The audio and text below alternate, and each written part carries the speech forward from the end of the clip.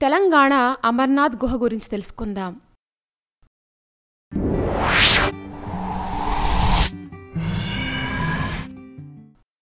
శ్రీకాళహస్తి తాలూకా తొండమనాడు గ్రామానికి సమీపంలో బత్తినయ్య కోణలో శ్రీ కోటేశ్వర క్షేత్రం ఉంది. ఈ గుహ అమర్నాథ్ గుహ లాంటిది. ఇక్కడ శివుడు లింగ రూపంలో మనకు దర్శనమిస్తారు. చాలా శక్తివంతమైన దేవుడు. ఈ గుహకి చేరుకోవడానికి సుమారు రెండు వేల నలభై మెట్లు ఎక్కాల్సి ఉంటుంది. పూర్వం బత్తినయ్య అని ఒక మహాపురుషుడు దనికొండపై తపమాచరించారు. శ్రీకాళహస్తిని దర్శించాలని తలిచారు. తిరుమలలో శ్రీనివాసుని సేవించి శ్రీకాళహస్తి వెడుతూ సమీపంలోని అగస్తేశ్వర పర్వతాల్లో తపస్సు చేసుకునేందుకు అక్కడ ఉన్న గుహను మూడు అంగల్లో చేరుకున్నారట. అందుకు నిదర్శనంగా ముసలిపేడు అనే గ్రామం చెరువుగట్టిన ఒక పాదం మొనగాడిగుంట అనే ప్రదేశంలో మరో పాదం కొండగుహ వద్ద మరో పాదం గుర్తులు నేటికీ ఉన్నాయి. ఈ పాదాల గుర్తులను భక్తులు ఎంతో భక్తి శ్రద్ధలతో పూజిస్తారు. బత్తినయ్య కొండగుహలో తపస్సులో లీనమైపోగా యుగాలు గడిచిపోయాయి. కాని బత్తినయ్య తపస్సు నుంచి లేవలేదు. అతని చుట్టూ పెద్ద పుట్ట పెరిగింది. మహర్షి కానరావడం లేదు. పుట్టపైన చుట్టూ చెట్లు తీగలు పెరిగాయి. పుట్ట పక్కనే సన్నగా సలయేరు పారుతూ ఉంది.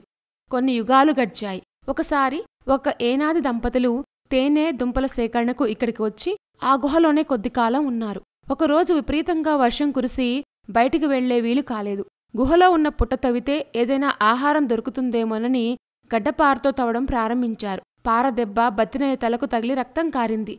పారతో కొట్టిన వాని కళ్ళు పోయాయి. అప్పుడు పుట్టలో ఎవరో మహానుభావుడు ఉండి ఉంటాడని గ్రహించి తాము తెలియక చేసిన తప్పును మన్నించమని వేడుకున్నారు. ఆయనకు దయ కలిగి మన్నించగానే కంటిచూపు వచ్చింది.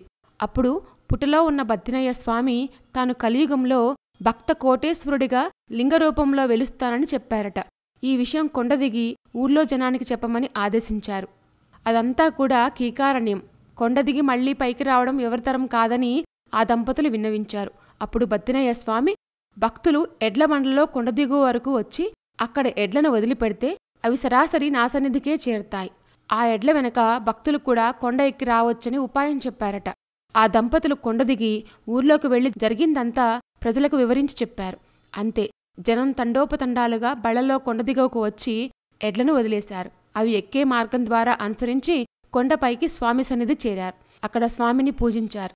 వృద్ధ ఏనాది దంపతులు కొండ మీదే ఉండి భక్త కోటేశ్వర స్వామి సేవలో పూజలో ధన్యమై ఆయనలో లీనమైపోయారు. వారి శిలాప్రతిమలు అక్కడ ఏర్పడ్డాయి.